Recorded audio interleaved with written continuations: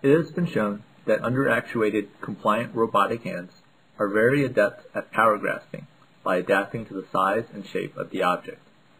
Under-actuated hands can produce stable grasps on a variety of different objects with a minimal number of actuators and simple open-loop control. However, pinch grasping and precision manipulation becomes difficult to achieve due to under-actuation. Dexterous manipulation tasks generally require kinematically redundant manipulators with complex control schemes and extensive feedback systems. At the Yale Grab Lab, under the supervision of Aaron Dollar, we are working towards extending the capabilities of an under-actuated robotic hand for precision manipulation tasks. In this video, we show an under-actuated hand performing a flip and pinch task, in which thin objects are flipped by the fingers off of a flat table surface into a stable pinch grasp. We can see that once the contact constraints on the object are established, the process is quasi-static and results in a very repeatable object trajectory.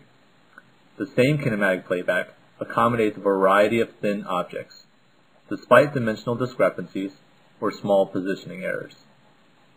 In this approach, we intelligently position the fingers against the table surface such that we can continue to leverage the compliance and adaptability of under-actuated fingers for small objects that cannot otherwise be constrained through power.